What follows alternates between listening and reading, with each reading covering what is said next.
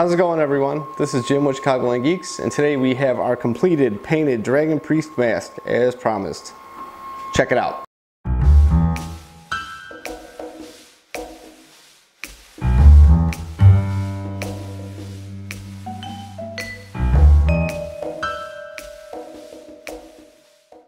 I started off this mask by first giving it a light sand with some 120 grit sandpaper and then I used some Rust-Oleum primer and gave it three coats of that, making sure to sand in between the coats.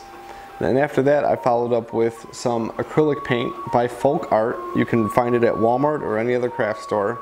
And I just um, kind of winged it at that point. Started off with a gold base, you know, gave it some shadows and whatnot, and layered it with copper, gold, mixed some colors.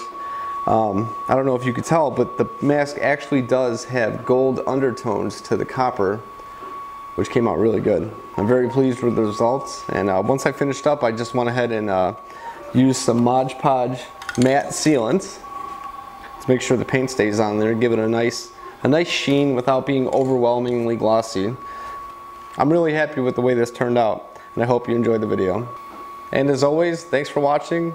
Don't forget to subscribe if you want to. I'm always doing more stuff. Right now we are currently printing a angry Easter bunny because my kids wanted an Easter bunny, so